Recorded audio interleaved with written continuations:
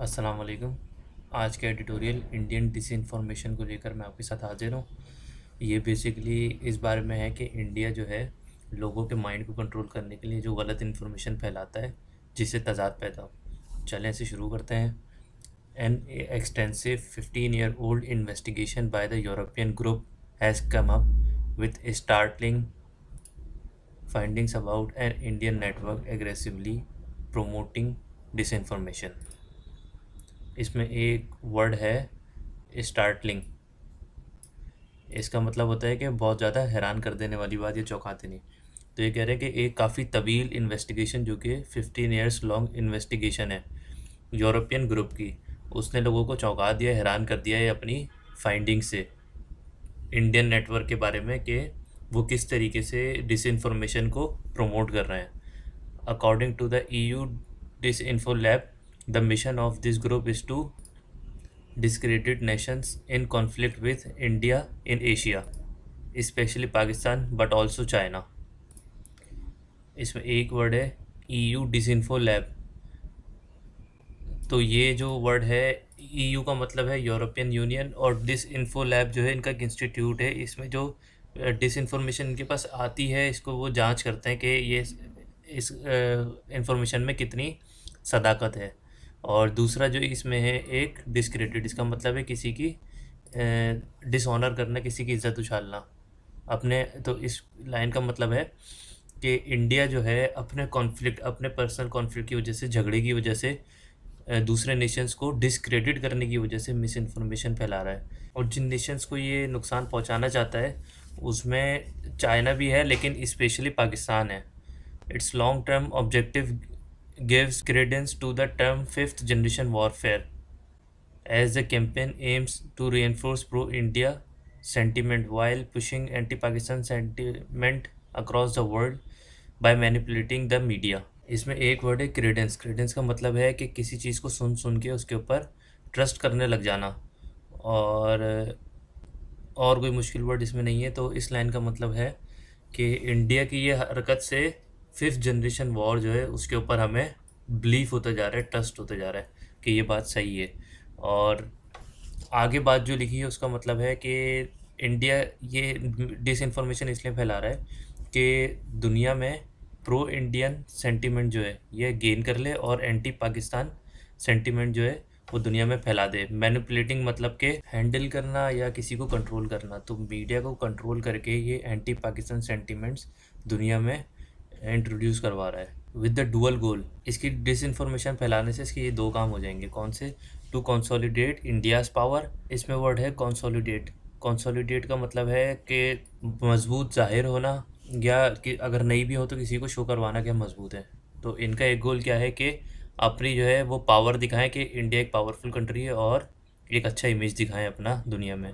और दूसरा जो इनका गोल है वो है and damage the reputation of other countries अभी ख़ुद पावरफुल कैसे दिखेंगे? ये दूसरे ममालिक को डिसऑनर करके ख़ुद को एक अच्छा कंट्री साबित करना चाह रहे हैं। The Indian network has work diligently since 2005 to get favourable supports from the international institutions such as the U and U N अच्छा डेलीजेंटली का मतलब है कि ऐसा शो करवाना कि हम आपके साथ हैं। तो इंडिया जो है, वो काफ़ी अर्से से काम कर रहा है डिस इन्फॉर्मेशन का 2005 से। लेकिन वो शो ऐसा करवा रहा है कि हम भी डिस इन्फॉर्मेशन के ख़िलाफ़ जो हैं वो मुतहद हैं। और हमदर्दी हासिल करें ईयू से और यूएन से यूरोपियन यूनियन से और यूनाइटेड नेशन से। In order to achieve this the network created N G Os think tanks and fake news media outlets to influence the European Parliament and create the impression that pro India, anti Pakistan interests have support in European institutions और ये सब achieve करने के लिए कि पाकिस्तान या China जो है वो ख़राब कंट्रीज़ है और इंडिया जो है बहुत अच्छा कंट्री है। इसके लिए ये अचीव करने के लिए इनको कुछ चीज़ें दरकार हैं, जिसके लिए उन्होंने सबसे पहले एक चीज़ की कि एन बनाई नॉन गवर्नमेंटल ऑर्गेनाइजेशंस और दूसरी चीज़ थिंक टैंक्स थिंक टैंक्स का मतलब होता है कि ये गवर्नमेंट के साथ कुछ लोग होते हैं जो सिर्फ़ सोचते हैं मामला को देखते हैं और फिर मुशावरत करते हैं और मशवरे देते हैं कि ये काम किस तरीके से करना चाहिए। और तीसरा है फेक न्यूज़ मीडिया इनके जैसा मीडिया है, वो पूरी दुनिया को पता है कि वो सारी फेक न्यूज़ ही फैलाता है। तो ये तीन चीज़ें उन्होंने तैयार की हैं डिस इन्फॉर्मेशन फैलाने के लिए, दूसरे कंट्रीज़ के लिए। The network even repackages and disseminates disseminates का मतलब है कि कोई खबर हो, उसको जो है बुरी तरीके से फैला देना। News through the Indian wire agency A N I A N I जो है इनका एक न्यूज़ चैनल है as well as a little known media अच्छा ये नेटवर्क करता क्या है कि रीपैकेज रीपैकेज यानी कि एक चीज़ को तब्दील करके फिर आगे भेजना। तो वो तब्दील करता है और फिर दुनिया में जो है ना, बुरी तरीके से फैला देता है, जैसे कितनी बड़ी बात और कितनी सच्ची बात है। और इनकी इंडियन जो एक एजेंसी है, news agency A N I इसके ज़रिए। और दुनिया में बाकी नाइन्टी सेवन कंट्रीज़ ऐसे हैं जो इस इंफॉर्मेशन को आगे चलाते हैं एंटी पाकिस्तान कंटेंट के लिहाज से। Shockingly the network resurrected the dead professor by using his identity and used 750 fake media outlets to push its propaganda. तो हैरान कन तौर पे इन्होंने एक डेड प्रोफेसर उसकी आइडेंटिटी यूज़ की। रिसरेक्टेड का मतलब है मरने के बाद दोबारा ज़िंदा होना या रिवाइव होना। तो इन्होंने एक मरे हुए प्रोफेसर को उसको ज़िंदा कर दिया और उसको यूज़ किया उसकी आइडेंटिटी को। 750 fake media outlets to push its propaganda 750 media outlets ऐसे थे जिसमें इसकी आइडेंटिटी यूज़ की, इसलिए कि किसी का नाम ना है और फिर एक अपना प्रोपोगेंडा चलाया कि पाकिस्तान और चाइना वगैरह के साथ जो इनके मुखालिफ ममालिक हैं, वो सारे गलत हैं। The sheer volume of information revealed about this network is astounding sheer volume का लफ्ज़ जब इस्तेमाल होता है जब किसी चीज़ की मकदार बहुत ज़्यादा बतानी हो तो ये इतनी ज़्यादा मकदार में जो इन्फॉर्मेशन रिवील्ड हुई है इस नेटवर्क के ज़रिए, ये बहुत क्या है एस्टाउंडिंग है। यानी कि बहुत ज़्यादा हैरान कन है सरप्राइजिंग है। Although the European group has question against the attributing the network and its activities to Indian intelligence agencies definitively caution का मतलब होता है कि वॉर्न करना धमकी के अंदाज में और एट्रीब्यूटिंग का मतलब होता है कि किसी चीज़ को किसी से मंसूब करना। तो although the European Union has question European Union को जो है वॉर्न किया गया अगेंस्ट एट्रीब्यूटिंग नेटवर्क नेटवर्क को मंसूब करने से। किसके खिलाफ? अगेंस्ट मतलब खिलाफ। किसके खिलाफ activities to Indian intelligence agencies यानी कि यूरोपियन यूनियन को ये वॉर्न किया गया है डिस इंफॉर्मेशन के लिहाज से कि जो डिसइंफॉर्मेशन फैली है, ये आप इंडियन इंटेलिजेंस एजेंसी से मत जोड़ें कि इनका इंटेलिजेंस एजेंसीज का इस डिसइंफॉर्मेशन से कोई ताल्लुक नहीं है।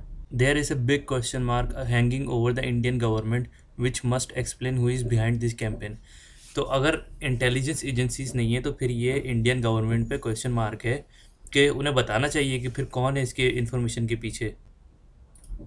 After all its pro India anti Pakistan is tense as well as its careful constructed fake news machinery is benefiting the Indian government and its aspirations of a dominant India narrative instance इसमें word है, ये इसका मतलब है मौकफ और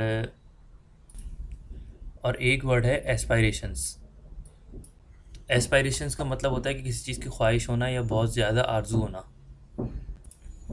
तो ये सारी चीज़ें जो हैं, ये एक फेक न्यूज़ मशीनरी की तरीके से बन गए इनके सारे न्यूज़ चैनल जैसे कि ए एन आई की अभी बात हो रही थी, जो कि इनका मकसद क्या है सबका कि सिर्फ़ इनकी जो ख्वाहिशात हैं कि इंडियन गवर्नमेंट की और इस चैनल की, के डोमिनेंट इंडिया नरेटिव डोमिनेंट का मतलब होता है कि रूल करने की रूल करना किसी के ऊपर। तो इनकी जो ख्वाहिश है कि इंडिया जो है पूरी दुनिया पे रूल करे या सुपर पावर बने तो बस इसके लिए इन्होंने फेक न्यूज़ मशीनरी भी बनाई हुई है। The international community must raise its voice and demand an explanation from New Delhi about this group जो इंटरनेशनल कम्युनिटीज़ हैं, उनको अपनी आवाज़ बुलंद करनी चाहिए और उनसे पूछना चाहिए एक्सप्लेनेशन मांगनी चाहिए ये दिल्ली ग्रुप के बारे में which continues to operate despite being exposed for the first time last year last despite का मतलब होता है कि उसके बावजूद।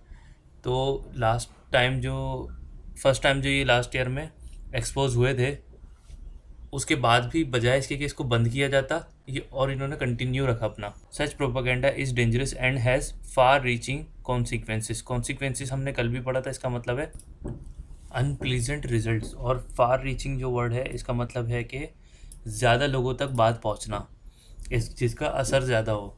तो इसका मतलब है जो ये प्रोपोगेंडा हो रहे हैं कि डिस इन्फॉर्मेशन के तो ये काफ़ी डेंजरस है, ख़तरनाक है और इसके जो रिज़ल्ट्स हैं, जो ख़राब रिज़ल्ट्स हैं, वो काफ़ी लोगों को हार्म करेंगे the networks attempt to create a negative impression of Pakistan through fake news betrays a sinister campaign which is beginning to define the conflict of our times.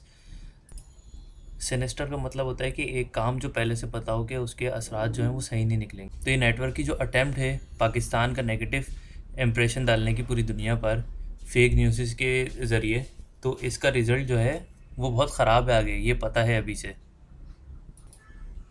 The E U disinfo labs evidence based analysis is led by the believe that citizen should be well inform about the source of information and that they understand the context तो ये जो report आई है अभी E U dish info lab की, इनके, इन्होंने जो सबूत दिए हैं डिस इन्फॉर्मेशन के बारे में तो ये लोगों को इस बात की इस बात का एहसास दिला रही है कि जब ख़बर आए कोई तो उसकी सोर्स देखे कि वो कहाँ से आ रही है कि वो एक ऑथेंटिक सोर्स है या नहीं है।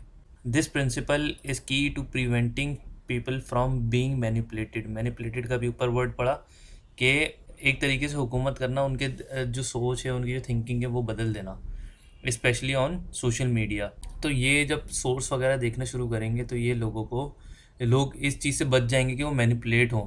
और ज़्यादातर जो ये चीज़ें होती हैं सोशल मीडिया के ज़रिए ही होती हैं।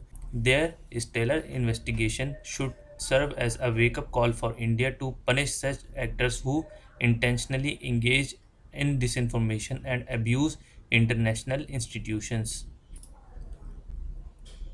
stellar stellar का मतलब है बहुत ज़्यादा वंडरफुल बहुत अच्छा काम जो होता है। तो इनकी जो एक आउटस्टैंडिंग इन्वेस्टिगेशन जो की है ईयू डिसइंफो लैब ने, ये एक वेकअप कॉल है इंडिया के लिए जो कि ऐसे एक्टर्स को पनिश करे, सज़ा दे, जो अपनी मर्ज़ी से इंगेज होते हैं या पैसे लेके इंगेज होते हैं डिस इन्फॉर्मेशन में और इंटरनेशनल इंस्टीट्यूशंस को बुरा भला कहते हैं। इसी इसी के साथ आज का एडिटोरियल अख्ताम पजीर होता है। कोई आपकी राय हो तो उससे ज़रूर शेयर करें। नेक्स्ट एडिटोरियल तक के लिए खुदा हाफिज़।